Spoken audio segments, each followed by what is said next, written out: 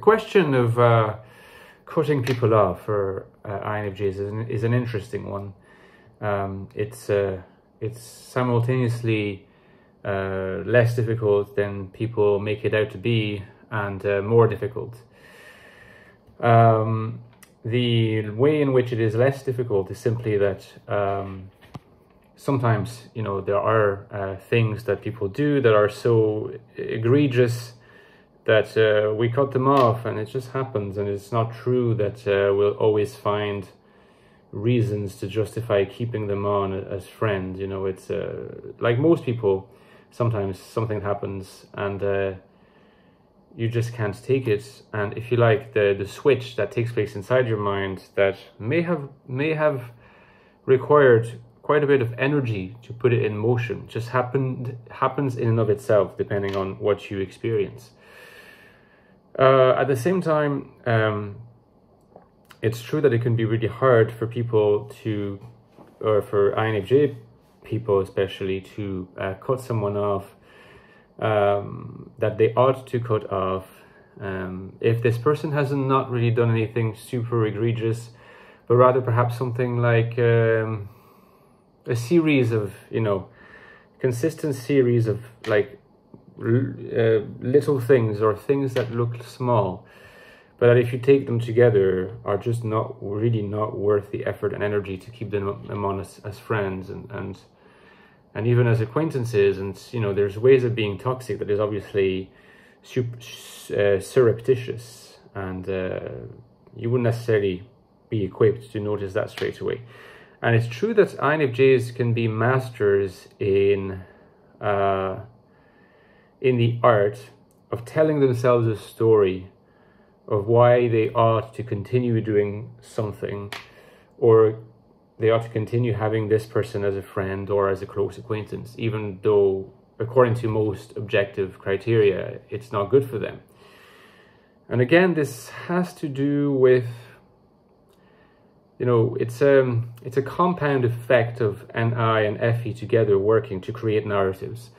Um, I've talked about this before in videos, but INFJs are fundament fundamentally creatures of narrative. They experience the world through a kind of narrative that makes helps them make sense of what's going on in front of them, given this the basic premise of uh, alienated NI, or just alienation full stop, is you know the ecstatic soul, my first book on the INFJ, which you can get uh, at the links below. Um, first book explains that, you know, like alienation is the first chapter of the ecstatic soul because it's the fundamental premise of the existential situation of someone who has the INFJ personality. There is a sense of primordial removal from external reality due to uh, dominant NI and what it implies, which is inferior SE. Um, this reliance on a sense of narrative is is connected with alienation from the external world because someone who is fundamentally in the external world someone who's in the world out there projecting themselves into the open that's their life. They don't need a narrative to kind of articulate past present and future. Only someone who is alienated in the first place needs that. But INFJ really needs that. They need that to make sense of themselves. They need that to make sense of what they're doing and if they don't have that, or they find themselves in an environment which denies them that, I think they can often get to dark places where their being is atrophied, where they can feel that their being is atrophied, uh, that they remove their, their, you know, they deprive of their possibilities, and it can lead to serious mental mental health problems. You know, um, so they need to be able to tell themselves a story about what they're doing. It doesn't need to be grandiose. It doesn't mean doesn't mean, need to be a story about how they're going to become a superhero but a story that makes sense to them and that they value. And, and the cutting people off, in a sense, for, the, for it to become operative, it has to situate itself within a storyline as well, which would be like kind of, kind of a sub storyline of the main story. There's a narrative, right? Um, you'll notice if you're an INFJ and you struggle with anything, including with pe cutting people off, but really, I could use so many examples: making a choice in a career, moving to a new place, uh, accepting someone new into your circle of friends. So the opposite of cutting someone off. Make any kind of important decision or decision that requires time and effort and focus and patience and consideration before its decision is made or carried through. if it makes sense within a particular narrative, it's, it's going to help you massively. It's going to liberate huge a huge surplus of energy for you to carry out these things.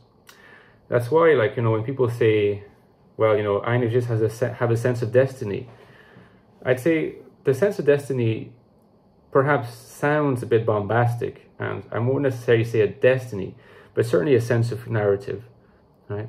And um, if you can, if you can articulate a story of why cutting this person off is important, this will really give you the energy to do it because we know it's never easy to do, particularly if someone's toxic and specialized in making you in some way dependent on them for whatever reason.